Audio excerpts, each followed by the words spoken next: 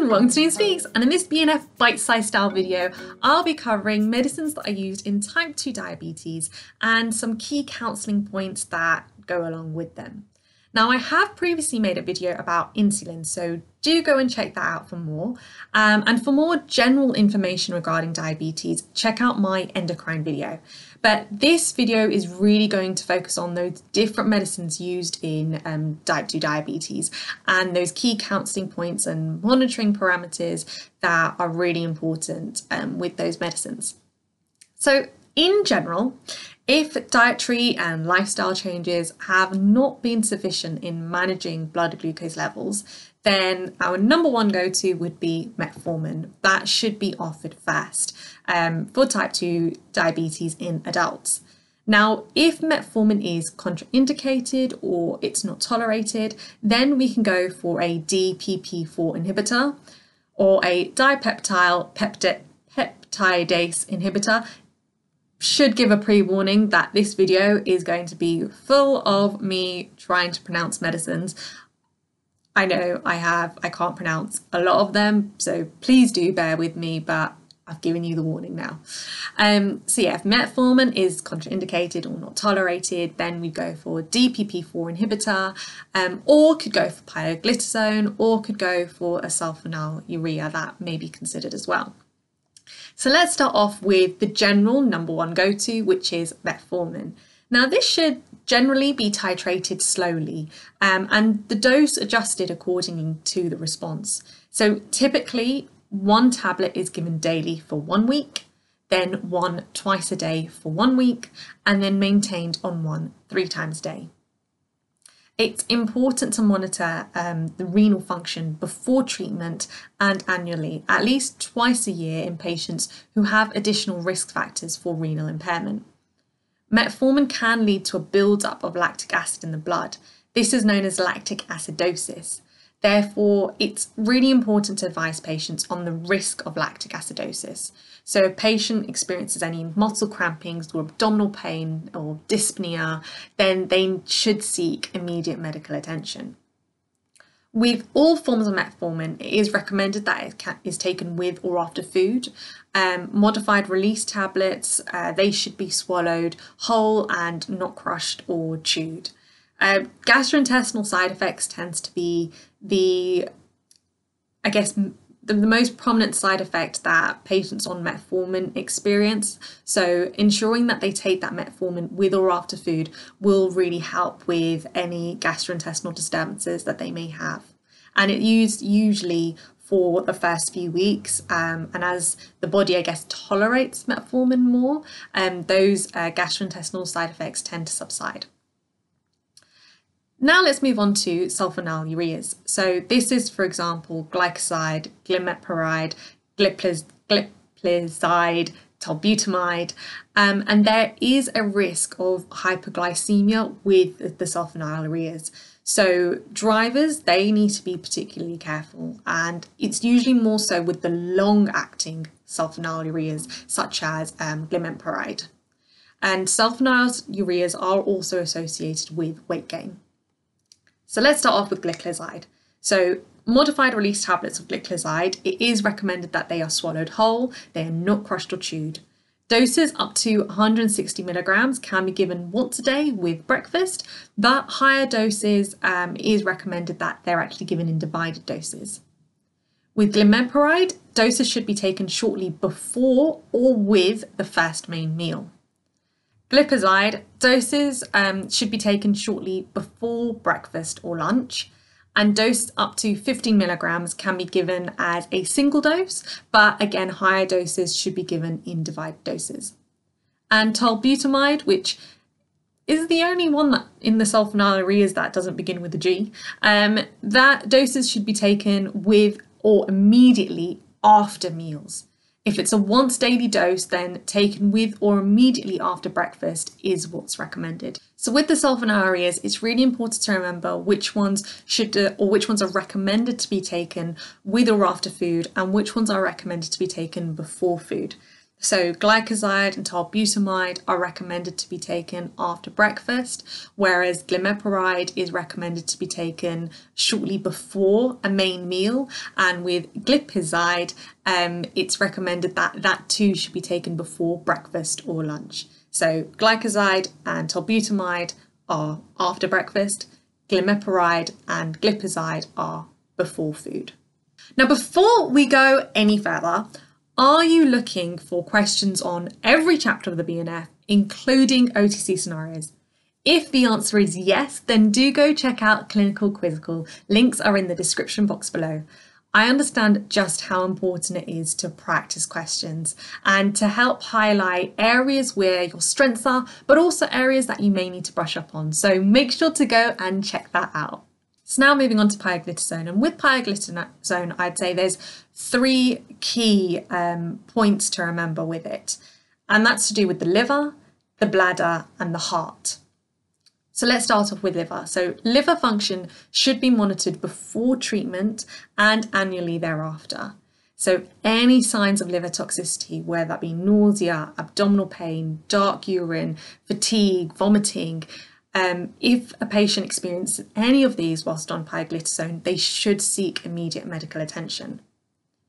With bladder cancer, there, there is a small increased risk of bladder cancer with taking pioglitazone. However, it is important to note that if a patient responds well to treatment with pioglitazone, then the benefits outweigh the risk. Um, those who have a history of bladder cancer or currently have bladder cancer should not be taking it. Risk factors for bladder cancer should be assessed, such as age, smoking status, exposure to certain occupational agents, and if there's any urinary urgency or blood in urine, again, they, they should be promptly reported and um, medical advice should be sought immediately. And with pioglitazone, it is contra- contraindicated in heart failure as Again, there is an increased risk of heart failure when pioglitazone is given with insulin, particularly in patients who have, a, have risk factors for heart failure, such as a previous myocardial infarction. So now let's talk about the DPP4 inhibitors, or the gliptins as I like to call it. So examples include alogliptin, linagliptin, sitagliptin, saxagliptin, and vildagliptin. So they do not um, there doesn't really appear to be any association with weight gain um, when it comes to DPP4 inhibitors, and they have less incidence of hypoglycemia than the sulfonylureas, which is why if metformin is contraindicated, as we mentioned that towards the beginning of this video, um, DPP4 inhibitors would be a suitable alternative. However, um, if a patient on any of the DPP4 inhibitors uh, experiences any symptoms of acute pancreatitis, for example, severe abdominal pain, then it should be discontinued. With alogliptin, linagliptin, and saxagliptin, renal function should be measured before treatment and periodically after.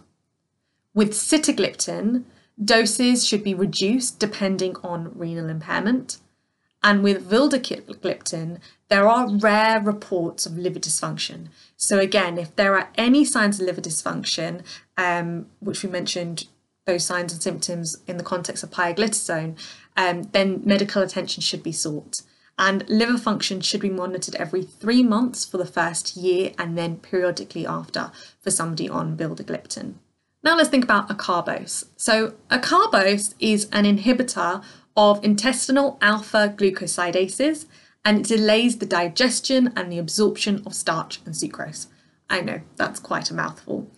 The way that I like to remember is it's a very simplistic way in that acarbose begins with A, it affects the intestinal alpha glucosidases, again, alpha begins with an A, and it delays the digestion and absorption, again, begins with an A. So acarbose, alpha, and absorption. That's how I try to remember it.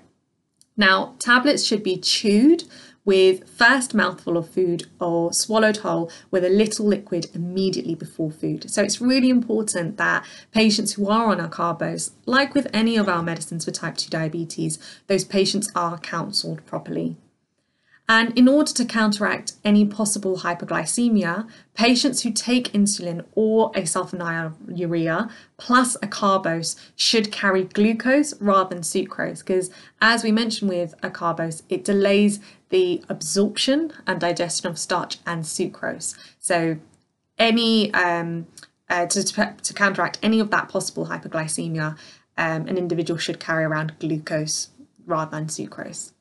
This is another one, another fun one to pronounce there. Meglitinides. I think I actually pronounced that one okay. So nateglinide and rep- repaglinide, um, they can be given around meal times or taken accordingly to a patient's eating habits. With repaglinide, it should be taken within 30 minutes before main meals. Moving on to the sodium glucose co-transporter 2 inhibitors or SGLT2 inhibitors. So this is our flozin, so our canagliflozin, dapagliflozin and empagliflozin. And they may be suitable for patients when those first line options aren't appropriate. With canagliflozin and empagliflozin, they can be beneficial in patients with type 2 diabetes and have established cardiovascular disease. And the SGLT2 inhibitors are associated with a risk of diabetic ketoacidosis. So it's really important to remember um, what those signs and symptoms of diabetic ketoacidosis is and that you again counsel patients accordingly. So any nausea, vomiting, abdominal pain, weight loss, pear drop breath, anything like that um, are they could be, you know, signs and symptoms of diabetic ketoacidosis. So make sure that you do counsel patients accordingly.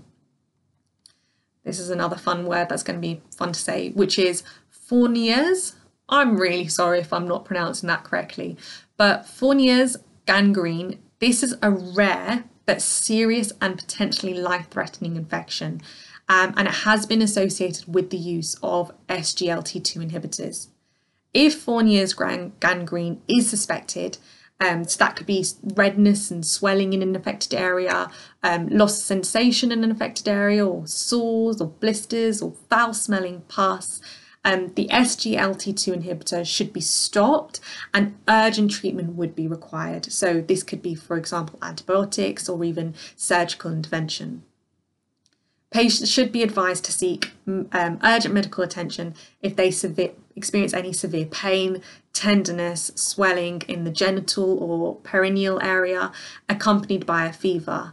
Um, urogenital infection or any perineal abscesses, they may proceed to necrotising fasciitis.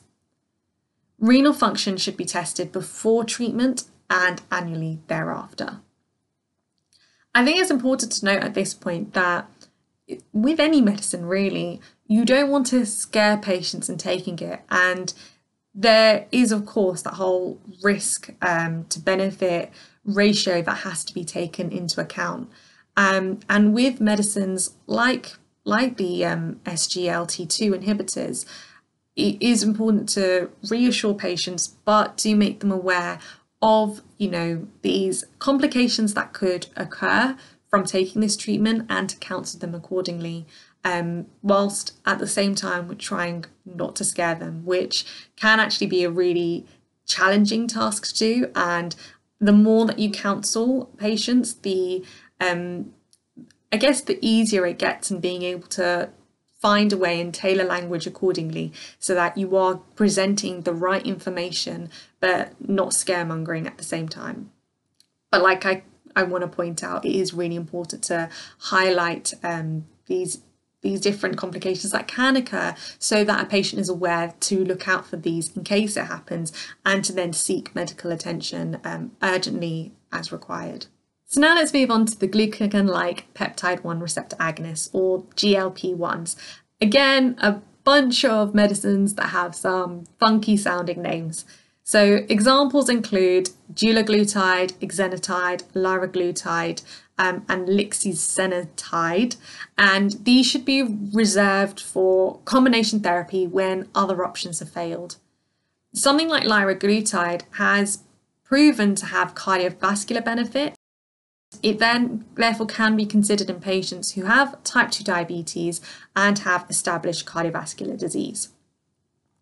So With um, patients that are on this group of medicines, it's important that they're counselled on the risk factors and signs and symptoms of diabetic ketoacidosis because it can cause serious and even life threatening cases of diabetic ketoacidosis.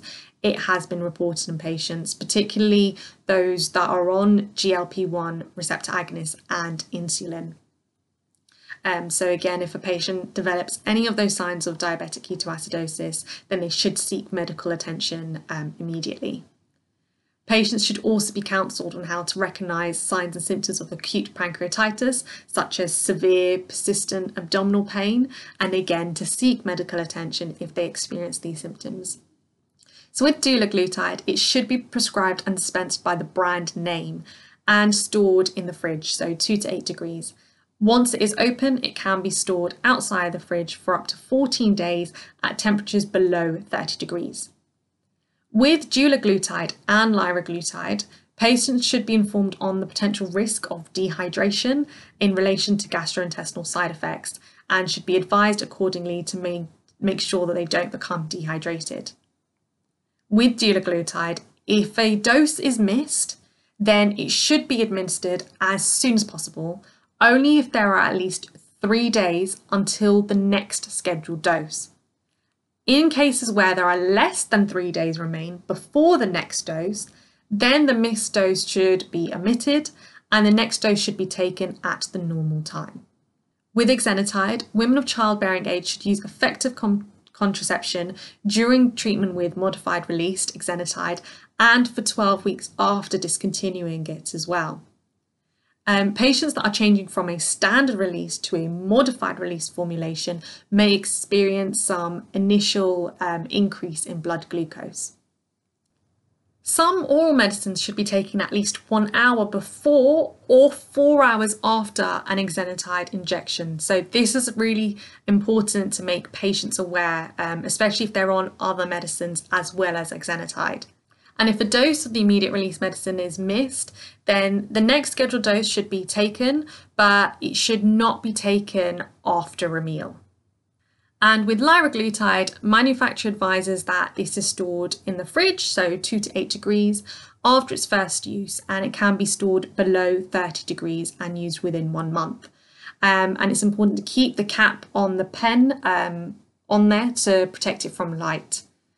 If a dose is more than 12 hours late, the missed dose should be omitted and the next dose should be taken at the normal time. And with lixisenatide, it's a similar situation to that as exenatide, where some medicines, oral medicines, may need to be taken one hour before or four hours after a lixisenatide um, injection.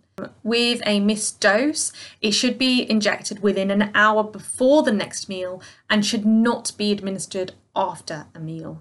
So I hope you found this video useful and if you did, please do give it a thumbs up, share, like, subscribe. Do also visit my Instagram, Twitter and Facebook. And until next time, good luck with your revision and happy revisings!